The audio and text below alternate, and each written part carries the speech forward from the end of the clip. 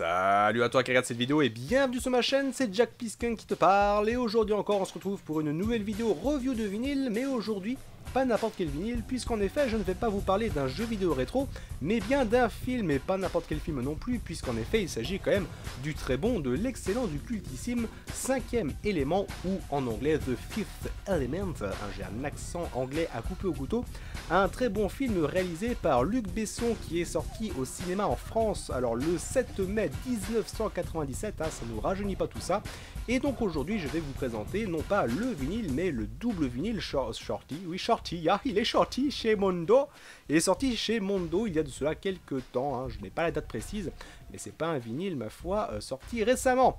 Donc, sans plus tarder, je vais vous montrer la bête que je vais sortir de son étui en plastique que j'ai acheté. Alors, petit aparté, hein, pour tout fan de vinyle, parce que je parle souvent, euh, souvent pardon, des vinyles en soi, mais je ne parle pas des accessoires autour du vinyle il y a des petites pochettes de protection qui existent comme ceci, qui peuvent se trouver n'importe où, mais celle-ci c'est euh, Rock on Wall, je crois, qui font euh, ces euh, pochettes-ci. Genre, je suis pas sponsorisé, hein, je vous en parle juste parce que voilà, et s'il y a des, fans de vinyle comme moi dans les spectateurs, ça peut peut-être vous intéresser. Donc des petites pochettes comme celle-ci au nombre de 25 pour 10 euros. Donc pourquoi s'en priver? C'est toujours une petite protection supplémentaire pour ces six charmants objets qui peuvent des fois coûter la peau du cul. Donc c'est bien de les protéger. Et donc pour en revenir au, euh, vinyle principal, eh bien le voici donc évidemment, je vais en parler en long, en large et en travers, hein, des illustrations, du contenu, du son, des bonus, euh, de la sono, de la lumière en voiture, voilà, enfin bref. Déjà, premièrement, alors voilà, j'essaye de bien cadrer l'image. Premièrement, nous avons donc une illustration frontale. Alors, ce qui est bien chez Mondo, hein, même si je n'ai rien contre les, comment dire, les illustrations d'origine, ce qui est bien chez Mondo, c'est que très souvent, voire tout le temps ou presque, eh bien, il y a une illustration inédite. Alors là, elle est réalisée par, alors je ne sais pas si j'ai le bon accent parce que moi et le chinois ça fait 10, Shan Jiang. Alors voilà, je ne sais pas encore une fois si ma prononciation est correcte, désolé s'il m'écoute. Et donc on a une illustration de ce euh, charmant personnage. Et euh, qu'est-ce qu'on peut voir? Eh bien, on peut voir donc euh, Lilou. Alors ici, la perspective est un peu bizarre, j'arrive pas à me situer en 3D. Lilou, donc l'héroïne de ce superbe film. Et dans le fond, ici même, donc notre charmant Corben Dallas, hein, joué évidemment par Bruce Willis, et on se situe dans les bas-fonds de la ville, j'imagine, avec donc les moultes voitures volantes qui, bah, qui, volent tout simplement dans les airs. Et du coup, c'est très très joli tout plein, et surtout, ce qui est assez intéressant, alors l'illustration en soi est très jolie, même si un peu particulière, puisqu'en fait on voit les personnages principaux de dos, c'est un parti pris particulier, mais pourquoi pas. Mais c'est surtout en fait le, choix des couleurs que je trouve euh, que je trouve en fait très doux, très léger. Alors je ne connais pas du tout les termes techniques euh, en ce qui concerne l'art, mais voilà, je trouve le choix des couleurs un peu. Euh, alors le choix des couleurs est un peu un peu raccord. Orange, je trouve pas ça complètement ridicule. Sachant que Lilou, par exemple, a les cheveux complètement orange fluo dans le film, si je me souviens bien. Mais c'est surtout que, voilà, il y a un petit effet pastel très léger. Je, trouve ça, ma foi, très agréable. En tout cas, c'est une très jolie illustration. Donc ça c'est pour euh, eh bien, la première de couverture. De dos, derrière, qu'est-ce que l'on a? Eh bien c'est très simple. On a bien évidemment les différents titres présents euh, sur ces deux vinyles, mais on a aussi donc une illustration euh, toutefois un peu plus basique, encore plus simpliste que je, que, je qualifierais pardon, de simpliste, mais de très efficace. donc pour illustrer cette... alors comment on appelle ça la quatrième de couverture c'est quoi? C'est la tranche ou c'est derrière? Je ne sais plus. Enfin bref, le derrière. Le derrière, moi j'appelle ça le derrière. Donc on peut voir évidemment le vaisseau extraterrestre repartir, j'imagine, euh, dans l'espace et dans le turfu. Hein, qui s'en va évidemment de... Euh, euh, c'est pas une pyramide de base normalement? Moi je sais plus trop dans le film. Alors voilà, ça fait très longtemps que je l'ai vu. C'est un de mes films favoris que j'ai vu moult fois. Mais ça fait un bon bout de temps que je ne l'ai pas regardé. Mais voilà, là où se trouve normalement donc le cinquième élément, hein, le fameux cinquième élément. Mais du coup, voilà, c'est euh, très joli tout plein. On a une redite du titre tout en bas, donc là en anglais évidemment, puisque tout le vinyle est en anglais. Hein. Je vous le cache pas, je vous expliquerai pourquoi d'ici quelques instants. Du coup, voilà, avec, bon, évidemment, les différents euh, crédits, hein, les personnes associées, euh, compositeurs, machin, Mabit et compagnie. Et surtout, attention aux détails, c'est que vous avez, eh bien, à chaque côté des différentes phases du vinyle, une illustration qui représente bien évidemment un des éléments euh, des quatre pierres euh, bah, représentant les éléments, donc euh, feu, eau, terre et air. Alors je sais pas quel, ordre c'est, hein, j'ai pas le visuel là en face, Du coup, voilà, l'attention au détail est, est, très appréciable, tout simplement, avec pareil, The Diva Dance, là, il y a une petite, comment dire, un petit message en plus pour vous dire qu'il est interprété par Inva Mula, remasterisé pour les vinyles, blablabla. Donc voilà, plein de petites choses que personne ne lit, tout le monde s'en bat les couilles, mais bref, ça au moins euh, l'intérêt d'être là.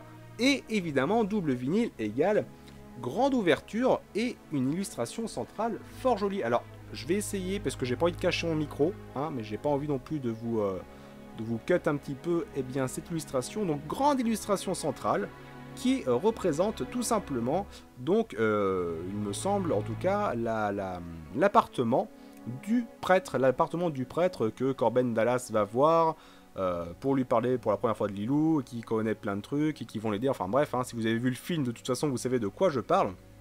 Alors l'illustration inédite, puisque de souvenir, je ne me souviens pas justement d'avoir vu Lilou poser sur le canapé avec donc un des extraterrestres en train de, chercher du porn sur Google. Hein, euh, donc du coup voilà, mais une très belle illustration, euh, encore une fois bien, bien sympathique, posée, euh, le choix des couleurs bien sympathique. Alors voilà, je vous montre, là je suis en train de vous montrer le haut, mais c'est pas très intéressant. Donc là, le, fameux alien, comme je vous le disais. Et du coup, de l'autre côté, c'est pas évident, c'est pas facile. Hein. Faut vraiment que je trouve un angle de caméra un peu plus intéressant que ça. Du coup, voilà, une très belle illustration. Alors pareil, t'as même un petit jeu, c'est retrouve les, quatre pierres des éléments. Hein. on peut le voir, donc là ici, il y en a une. je sais que j'en avais trouvé une autre, je crois, ouais, sur la table. Il y a une autre sur la table, et par contre, j'ai pas trouvé la dernière. Donc je vous conseille en fait de télécharger tout simplement l'illustration euh, sur internet et de me situer où se trouve la dernière pierre. Si vous dites dans mon cul, eh bien vous avez perdu. Donc ça c'est pour euh, les illustrations, hein. encore une fois, un très très bel objet que je, ne, que, que, je peux vous conseiller directement de l'acheter. Hein. Euh, ça je vous le cache pas, je vais pas attendre la fin de la vidéo pour ça. Avant de passer au vinyle, je vais donc aussi vous parler, si j'arrive à sortir, des différents petit euh, liseré disponible. Alors, je vais y arriver. Un jour, j'y arriverai. Voilà, j'ai dû sûrement l'abîmer comme un couillon. Donc, évidemment, comme je vous le disais, d'habitude, il y a un petit liseré chez Mondo sur le côté hein, qui vient avec le vinyle. Et qui, donc, dans un premier temps, en fait, est une redite euh, d'une présentation simplement de l'objet. Hein. donc, euh, le titre, le cinquième élément. On a aussi, donc, la musique composée par Eric Serra. Je reviendrai là-dessus d'ici quelques instants. Original soundtrack, un petit mot, j'imagine, des, des gens qui s'occupent de ce vinyle. Pas de l'autre côté, euh, l'une redite avec euh, les différents aussi produits proposés chez Mondo. Donc là, par exemple, il y a Age of Tomorrow et The, The Connection, voilà, des, films que moi ça ne me parle pas. Enfin bref, si ça parle à certains, tant mieux pour vous. Du coup, voilà aussi une redite aussi des euh, différents logos, Gaumont, Wargram, un truc comme ça. Apparemment, Mondo. Enfin bref, sympathique. Moi, je les conserve toujours parce que voilà, j'ai pas envie de les jeter puisqu'on peut les trouver que en achetant le vinyle, donc j'ai pas envie forcément de, de, louper ça. Et il est aussi venu, alors non pas avec une illustration, mais avec un autre liseré, euh, qui pareil en fait c'est complètement juste les crédits. voilà, si je peux appeler ça comme ça, c'est les crédits. Avec euh, donc euh, telle musique composée par telle personne, quelle personne a, travaillé sur telle chanson ou, telle piste. Et pareil de l'autre côté, alors c'est marrant, ça fait justement un, rappel de la pierre d'éléments. Avec justement donc le symbole en haut, euh, l'effet un petit peu grisonnant, sablonneux si je puis dire, euh, du liseré. Donc sympathique, ça sert encore une fois pas grand chose, c'est pas sur ça que je vais me branler le soir, mais en tout cas, ça a le mérite d'exister, c'est toujours acceptable. Euh, et maintenant, donc les vinyles. Alors, je vous cache pas que cette fois-ci, contrairement à d'habitude, j'ai pas réussi à choper une version couleur. Puisque, comme d'habitude, chez Mondo, vous avez plusieurs modèles disponibles, plusieurs éditions disponibles. Et là, évidemment, je n'ai réussi à avoir que la version noire, puisque je ne l'ai pas commandé sur le site, mais je l'ai trouvé à un espace culturel, hein, pour vous raconter un peu ma life. Et euh, dans les espaces culturels, j'ai pas l'impression qu'ils cherchent vraiment à avoir quelconque version. Hein. surtout que c'est pas précisé non plus, euh, même lorsque le vinyle est sous, euh, comment dire, sous scellé. Il n'y a pas un truc qui dit vinyle coloré, vinyle pas coloré. Voilà, c'est tu prends, c'est un petit peu Kinder Surprise. Tu sais pas trop ce que t'attends. Donc du coup voilà. Mais en tout cas, le vinyle est fort joli avec euh, au niveau de l'étiquette centrale, alors que je vous mette ça en bonne position. Donc euh, un rappel du symbole, euh, alors si je dis pas de bêtises encore une fois, le symbole du cinquième élément, hein, donc quand tous les éléments sont bien alignés avec mon fion, ça fait donc le cinquième élément, mais j'ai peur de dire une bêtise. Alors comme ça, en fait, en le regardant, ça me rappelle plus le symbole de Retour vers le futur, là, le plutonium et compagnie, là, merde, le truc qui permet justement de voyager dans le temps, donc c'est assez rigolo, enfin bref. Pareil, alors ce qui est intéressant, c'est que Vous avez une redite en termes de couleur et euh, de, de, je sais pas si je peux dire de grammage, mais voilà, un petit effet sablonneux.